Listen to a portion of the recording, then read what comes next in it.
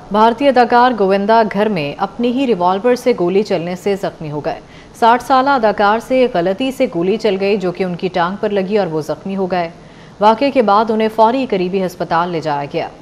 अस्पताल में ऑपरेशन के बाद गोविंदा की टांग से गोली निकाल ली गई है। अब अदाकार की हालत खतरे से बाहर है। भारतीय मीडिया के मुताबिक रिवॉल्वर अलमारी में रखने के दौरान गिरने से हादसाती तौर पर गोली चली।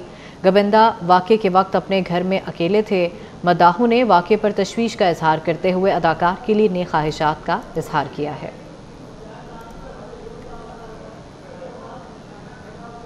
भारतीय अदाकार गोविंदा घर में अपनी ही रिवॉल्वर से गोली चलने से जख्मी हो गए।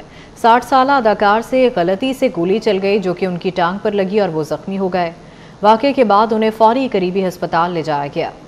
अस्पताल में ऑपरेशन के बाद गोविंदा की टांग से गोली निकाल ली गई है। अब अदाकार की हालत खतरे से बाहर है। भारतीय मीडिया के मुताबिक रिवॉल्वर अलमारी में रखने के दौरान गिरने से हादसाती तौर पर गोली चली। गोविंदा वाक़े के वक्त अपने घर में अकेले थे।